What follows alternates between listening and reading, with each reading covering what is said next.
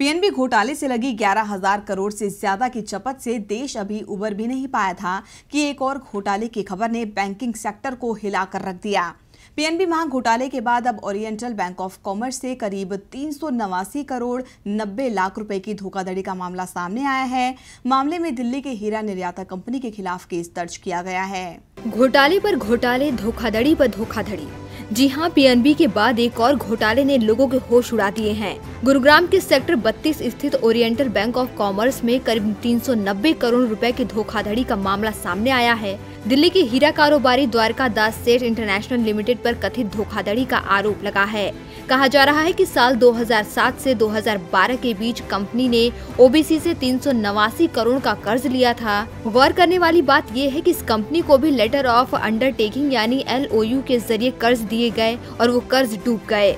Bank ने 31 मार्च 2014 को company को एनपीए की लिस्ट में भी डाल दिया था, लेकिन उसके बावजूद भी यह खेल जारी रहा। एनपीए की लिस्ट में शामिल होने के बावजूद कंपनी को करोड़ों का लोन मिलता रहा। ओरिएंटल बैंक ऑफ़ कॉमर्स के एजीएम स्तर के अधिकारी ने इस मामले की सूचना सीबीआई को पिछले साल 16 अगस्त को दी थी। जिसके बाद से कार्रवाई जारी है। इस फर्जीवाड़े की गंभीरता को देखते हुए सीबीआई ने दिल्ली के ज्वेलर समेत कई लोगों के खिलाफ केस दर्ज किया है।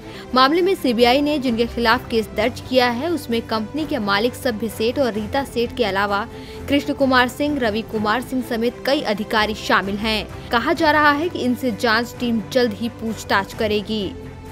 की रिपोर्ट।